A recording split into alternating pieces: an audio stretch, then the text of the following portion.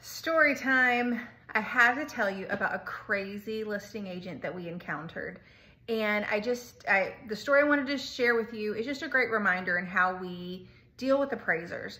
So this appraiser went out on this property and the property was in great condition. It made value, but there was one thing that the appraiser notated that there was potentially a leak underneath the sink and that he had to have confirmation that there was not a leak and if there was that it was fixed. Well, it was minor, kind of a pain in the butt deal. Um, but the whole problem was, was that there was tape in certain areas, I guess tape embedding, whatever that means. And it made it look like they were there was a leak that they were trying to um, take care of or whatnot. And so this listing agent, when he found out about this, he went ballistic. And he started texting our appraiser over and over and over and sending him threatening texts. Now, at first, when the appraiser complained to me and asked me to tell the listing agent to please stop contacting him, I thought maybe he was being a little dramatic and maybe it wasn't really that big of a deal until I actually did tell the listing agent to please stop messaging the appraiser. The appraiser even said, I'm gonna report him. Um, I need him to stop, yada, yada. And then he started texting me. And I mean, this guy was crazy. He was crazy. Just all the crazy things he was saying over a leak. A little, not even a leak. It was a, it was not a leak. It was just because of what material was around the pipe or whatever. It made it look like it there wasn't even a leak. He went ballistic and he was sending me messages saying one thing he said, literally, was that our appraiser was the root of all evil. Oh, I mean, I, what? like that was literally the text and demanding that we, that the mortgage company is responsible for this appraiser and we have to pay for this and, and you know, yada, yada, yada. And I was just like, okay, first of all, I think it's, it's so easy when any of us are emotionally involved and, you know, we're depending on paychecks for these closings.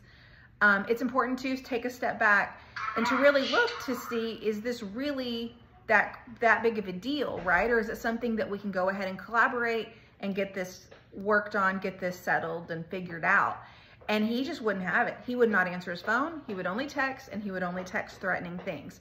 So the other point to this that I just wanted to kind of remind everybody is that, you know, there, there are some instances where the appraiser's kind enough to talk to you guys, message you guys, because they really don't have to communicate with anybody after the appraisal is done.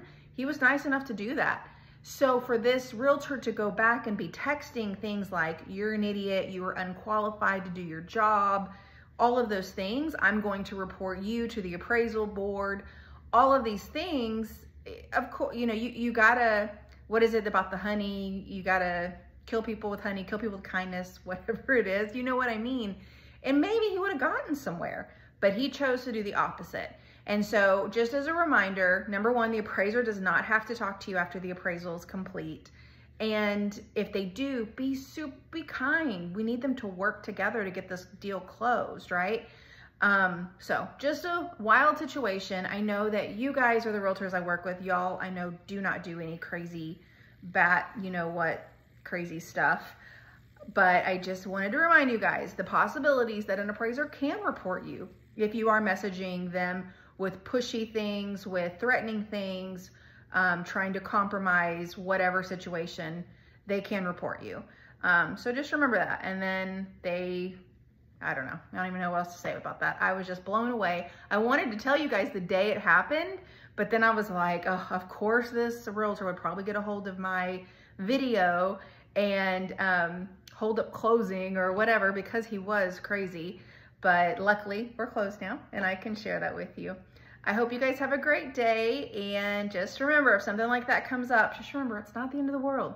Work through it. I was trying to give him suggestions on how we can work, how can we work through this? And I completely understand your frustration and yada yada, but he wasn't having it. I hope that was entertaining for you guys. I will talk to y'all later. Call me if you need me. Bye.